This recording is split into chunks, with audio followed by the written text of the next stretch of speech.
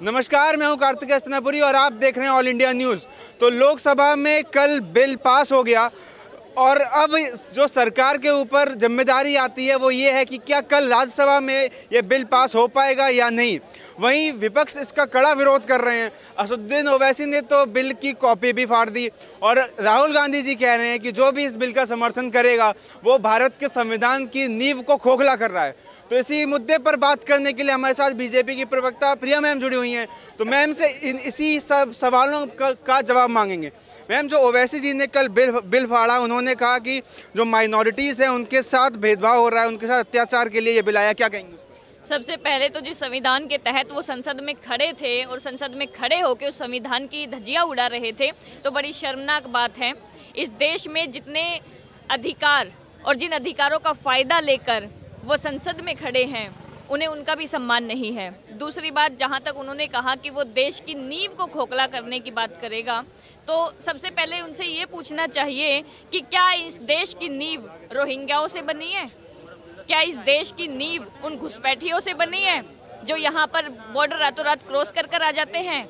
जो हमारे देश के नागरिक नहीं हैं, हमारे देश के संसाधनों को खसोट रहे हैं, हमारे देश के जो असली अधिकारी हैं, उन संसाधनों के, उन रोज़गार के साधनों के, उनके अधिकारों को छीन रहे हैं? वो नींव है क्या? तो इसका जवाब अपने आप में मिल जाएगा। कोई पागल नहीं है। इस देश की जनता पागल नहीं है। उनको पता है कि क्या हो रहा है। इसीलिए ये पास हो जाएगा। जहाँ तक आपने कहा कि राज्यसभा में होगा या नहीं होगा तो राज्यसभा में बीजेपी के पास एक सौ छः का आंकड़ा है।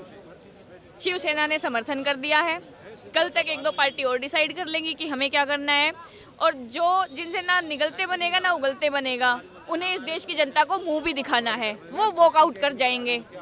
तो पास हो जाएगा ये। जैसा तो। आपने कहा कि शिवसेना ने समर्थन कर दिया है लेकिन ये देखा जाता है कि शिवसेना आखिरी मौके पर आके वादा तोड़ देती है और वापसी कर लेती है क्या लगता है शिवसेना ऐसा फिर से कर सकती है अगर वादा तोड़ा भी तो वॉकआउट कर जाएँगे। नेगेटिव वोटिंग तो फिर भी नहीं करेंगे। तो बिल तो पास होगा ही होगा। क्योंकि जैसा मैंने कहा कि जनता के बीच में आके भी तो मुँह दिखाना है। अपनी पार्टी की क्या आइडियोलॉजी बनाते हैं लोग? पार्टियाँ क्या आइडियोलॉजी है? वो दिखाने के लिए वो हो सकता है कि इसके समर्थन में वोट ना करें। लेकिन जब जनता के बीच में जाएँगे तो जनता को ये बताएँगे कि ना हमने समर्थन किया, ना हम खिलाफ में थे, हम वॉकआउट कर गए। मैम, ये कहा जा रहा है कि लोकसभा चुनाव के पहले बीजेपी ने एनआरसी का मुद्दा उठाया, लेकिन अब पश्चिम बंगाल का जब चुनाव आ रहा है तो ये अब इस बिल का मुद्दा उठा दिया। तो इस इस बिल पर भी राजनीतिक मायने देखे जा रहे हैं। लोग कह रहे हैं कि ये भी एक चुनावी स्टंट है। तो कब उठाएँ? जो सवाल उठाने वाले लोग हैं, वो बता दें पर्टिकुलर टाइम की कब उठाएँ। इस देश में कब इलेक्शन नहीं होता। हर छः महीने में, आठ महीने में किसी स्टेट का विधानसभा का या वैसे इलेक्शन चलता ही रहता है। वो टाइम अपने हिसाब से डिसाइड कर ले, तब उठा देंगे। संसद के सत्र अपने हिसाब से बुला ले, तब उठा देंगे। अब जो ज़रूरी चीज़ें हैं, वो टाइम पे लाई तो जाएँगी ना। अब संसद का सत्र चल रहा है तो क्या इनके घर पे नोटिस भेजना है? संसद का सत्र चल रहा है, संसद में बिल रखा जाएगा, उस पर बहस होगी, फिर उसके ऊपर वोटिंग होगी, वो पास होएगा। यही तो प्रक्रिया होती है ना संविधान के अंदर। मैम, इसी इसी बिल पर प्रियंका गांधी गांधी वाड्रा जी का भी आता है बयान। उन्होंने कहा है कि ये एक तरह की बीजेपी कट्टरता कर रही है और जो ये सिंबलाइज एजेंडा चला रही है, हम उसके खिलाफ खड़े अच्छा ठीक है। बीजेपी कट्टरता कर रही है, लेकिन आपकी सिंपैथी किसकी तरफ़ है? घुसपैठियों की तरफ़? रोहिंग्याओं की तरफ़? उनको भी तो किसी देश ने निकाल के यहाँ पर बॉर्डर क्रॉस कराया होगा। आपकी सिंपैथी उनकी तरफ़ क्यों है? क्या लाभ नज़र आ रहा है आपको उनमें?